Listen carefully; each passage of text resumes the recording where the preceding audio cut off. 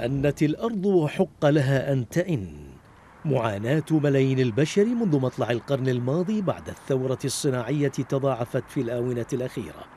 مع تزايد انبعاثات الصناعة وتفاقم تأثيراتها التي أدت إلى كوارث تغير المناخ متمثلة في الجفاف الذي بات يضرب بلادا لم تكن بالحسبان أن نسمع عنه وأعاصير مدمرة تنتقل من مناطق إلى أخرى تقتلع ما غرسه الإنسان.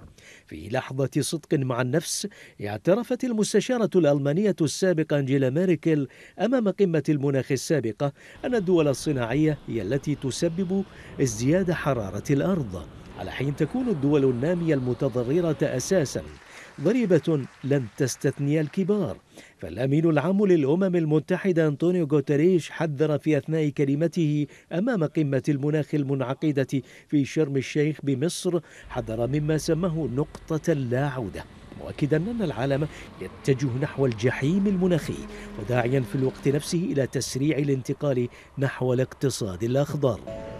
الاقتصاد الأخضر. أمنية لم تجد لها أرضا لتهبط عليها من خيال غوتريش بعدما فرضت الحرب في أوكرانيا والعقوبات عكسية الأثر على روسيا بحظر نفطها وغازها على أوروبا فرضت العودة إلى زمن الآلة البخارية واستخدام الفحم.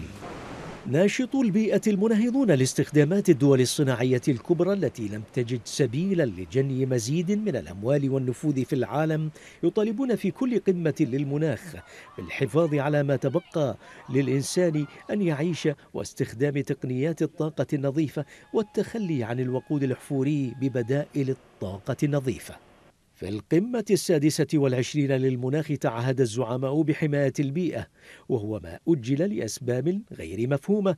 وفي القمة السابعة والعشرين تتجدد الوعود والمماطلات والتسويفات وكل ما يخشاه الإنسان أن يصبح شهيق تطلبه الرئتان أعز مما يتخيله زعماء العالم اليوم إذ يضيق الوقت أكثر أمام محاولات إنقاذ الكوكب المهدد بالتلوث.